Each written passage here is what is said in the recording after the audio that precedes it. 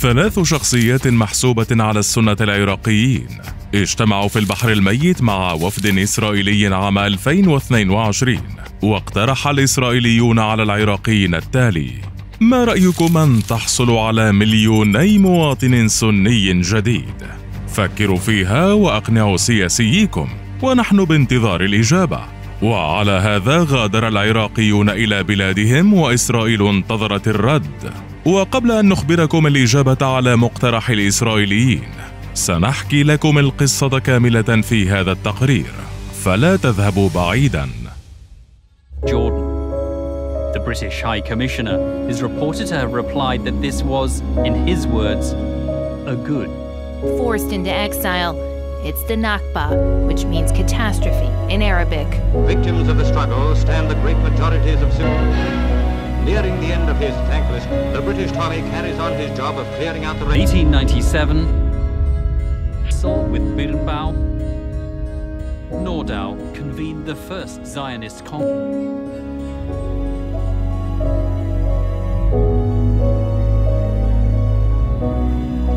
a solution for the right of return for the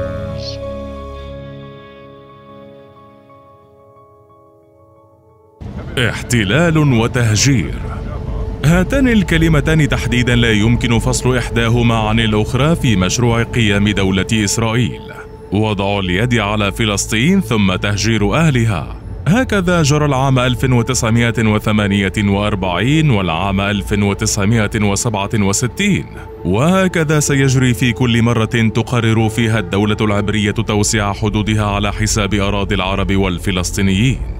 وعن الاحتلال وكيفيته فهذا حديث آخر وطويل. فهو قام بشكل منظم ووفق استراتيجية أعد لها اليهود والغربيون العدة والعتاد على أن يستتبعه التهجير. فهم يريدون ارضا من دون شعب لشعب من دون أرض. وعلى هذا جرى ما جرى وهجر فلسطينيون كثر إلى مناطق عديدة في العالم. كان أبرزها طول الطوق حيث لبنان وسوريا والأردن وحتى مصر. والحضور الفلسطيني بارز في هذه الدول وواضح ولا يحتاج إلى تأشير. حتى أن هذه الدول وتحديدا بلاد الشام بحسب التسمية السابقة امتلأت بالفلسطينيين حتى ضاقت عليهم هذه البلاد الجديدة وبات حكما البحث عن مستضيفين آخرين. وهذا ما شغل بال الإسرائيليين لسنوات. وعلى قوائم البحث العبرية ظهرت عدة خيارات على رأسها سيناء المصرية. شبه الجزيرة الصحراوية الفارغة تقريبا وشاسعة المساحة والمجاورة لغزة وهي يمكن أن تصلح كأرض بديلة للشعب الذي أريد له أن يقتلع من أرضه الأصلية. لكن هناك ما كان يعكر صفو هذه الخطة. ببساطة الرفض المصري والذي وصل حد التهديد بالحرب لو تعنتت إسرائيل بتنفيذ ما تحلم بتنفيذه. لذا كان لابد من بديل. وهذا البديل على القائمة منذ زمن. يعني ليس اليوم ولا أمس وإنما قبل ذلك. وتعود الفكرة للعام 2014 حين اقترح صحفيون إسرائيليون إرسال أعداد من الفلسطينيين إلى العراق. نعم العراق البلد غير المجاور لفلسطين لكنه شاسع المساحة ومنقسم على نفسه. وفيه خيرات كثيرة ويرضخ تحت الاحتلال الأمريكي أو هكذا كان. كما أنه يعاني من أزمة ديمغرافية وصراع بين مكوناته عربا وأكرادا وسنة وشيعة. وهذه بيئة تجعل من العراق مكانا محتملا قابلا لاستقبال الفلسطينيين وفق رؤية إسرائيل التي حددت هدفها العراق. والحديث كان عن محافظة الأنبار. أكبر المحافظات العراقية مساحة وأقلها من حيث الاكتظاظ بعدد السكان. وهذه الفكرة مع الوقت لاقت قبولا في دوائر إسرائيل المختلفة حتى جاء العام 2022 وكما نقل موقع ميدل إيست آي في مقال للكاتب البريطاني ديفيد هيرست نشر مؤخرا ويدور حول لقاء سري جمع بين ثلاثة ساسة سنيين عراقيين من محافظة الأنبار داخل أحد الفنادق الفاخرة المطلة على البحر الميت وكان بصحبتهم عدد من المسؤولين الإسرائيليين. ولم يكن موضوع الحديث بينهم يدور عن فلسطين بحسب هيرست بل كان يدور حول الأنبار التي تعد أكبر محافظات العراق وأقلها اكتظاظا بالسكان. وقد ذكر المضيفون ضيوفهم العراقيين بأن محافظتهم تشكل نحو ثلث مساحة أراضي العراق. وأثناء الحديث بين الطرفين جرى تذكير العراقيين بأن الأنبار تتمتع بخزانات ماء ضخمة غير مستغلة. بينما لا يعرف طريقة الاستفادة منها سوى الإسرائيليين والأمريكيين. وتوقع الإسرائيليون أن ذلك المخزون من الماء يستطيع أن يحول الأنبار إلى سلة غذاء الشرق الأوسط بأكمله. كما تحتوي المحافظة على احتياطية بنزين وغاز يمكن استغلالها. وقد أخبرهم الإسرائيليون أن بإمكانهم مساعدة الأنبار في استخراج احتياطياتها من الثروات المعدنية. لكن الشيء الوحيد الذي تفتقر إليه الأنبار كان الأعداد الكافية من القوة البشرية القادرة على تحقيق هذه النهضة.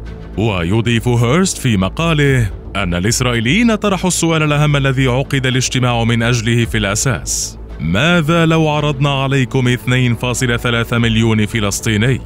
وأوضح الجانب الإسرائيلي أن هؤلاء الفلسطينيين من السنة مثلهم. قائلين الفلسطينيون شعب كادح ولديهم نفس ثقافتكم.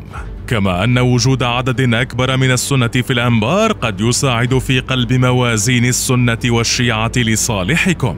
واختتم الإسرائيليون جلستهم هذه بالطلب من الوفد العراقي التفكير بالأمر ومحاولة إقناع بقية المسؤولين العراقيين.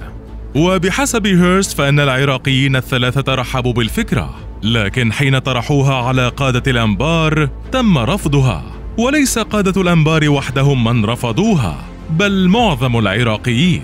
وهذا ما ظهر جليا في تصريحات نشرها مقتدى الصدر أبرز ساسة العراق وقادته الدينيين الذي قال في تغريدة له على موقع إكس خسئ كل من قال أو أقر بتهجير الشعب الفلسطيني إلى سيناء أو الأنبار أو النقب أو إلى غير ذلك مطلقا. وكل من يتماشى مع هذه الفكرة الخبيثة الإرهابية يؤيد من حيث يعلم أو لا يعلم تمدد وتوسع الكيان الصهيوني الإرهابي الغاشم.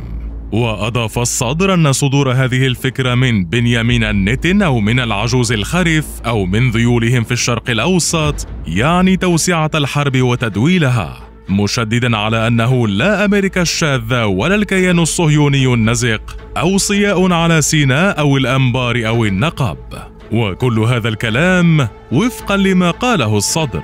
والذي لقي كلامه هذا توافقا من معظم الطبقة السياسية كرئيس الوزراء محمد شيع السوداني ومحمد الحلبوسي ابن الأنبار والذي شغل منصب رئيس البرلمان العراقي وبقية الأطراف والمكونات بما فيه الوقف السني العراقي والمسؤول عن الشؤون الدينية للسنة في العراق. وعلى هذا كان الرد العراقي على أحلام الإسرائيليين بنقل ما يرونه شعبا لا يرغبون به في غزة إلى مكان بعيد عن أرضهم الأصلية. وبعيدا عما قد يجري من تطورات في غزة سيظل الإسرائيليون يحلمون بأن يستيقظوا على أرض بلا شعب لشعبهم الذي كان بلا أرض.